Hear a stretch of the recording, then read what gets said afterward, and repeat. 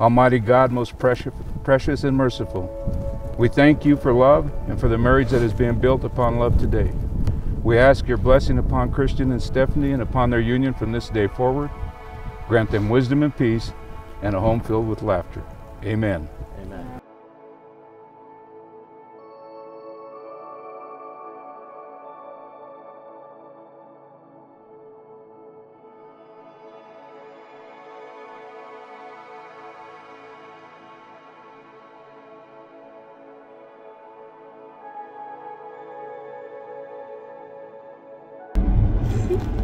Feel tougher to drive, but Yes, you did.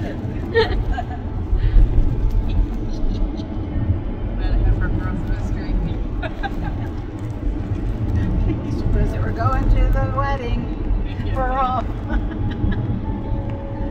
Are you ready for our hike in? ready for whatever makes this work for you, dear.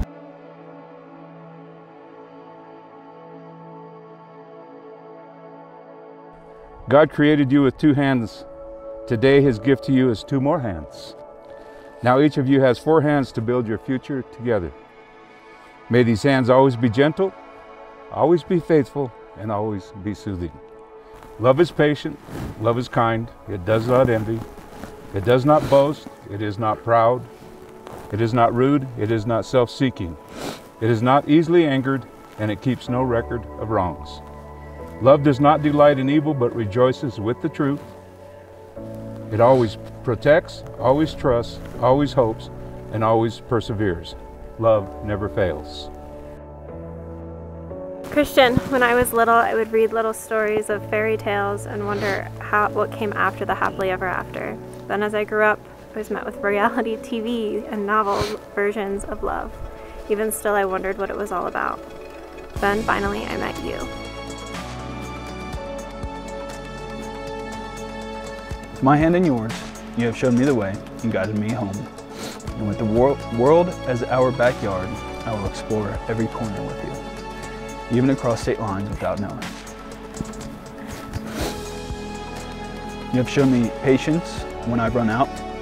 You have shared your warmth at 4,800 feet when I've forgotten my sleeping bag.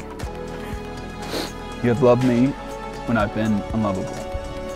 You've challenged and pushed me since the day we met, and you inspire me to be a better man with your kindness and selflessness. Without you, I would surely lose my way.